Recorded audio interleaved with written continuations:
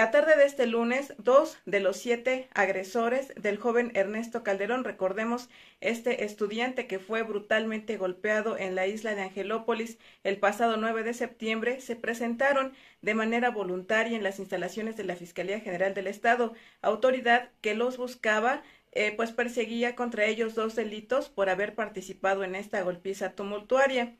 Es importante señalar que ya alrededor de las siete de la noche de este lunes, los dos jóvenes fueron trasladados a la Casa de Justicia de la ciudad de Puebla, en donde se prevé que pasen la noche, pues fueron presentados ante un juez del control, quien decidirá su futuro jurídico en las próximas eh, horas eh, a, lo largo de, de este martes. Mientras tanto, todavía hay cinco jóvenes que permanecen prófugos de la justicia, los cuales pudieran estar incluso en el extranjero y también los cuales presentaron amparos para no ser detenidos.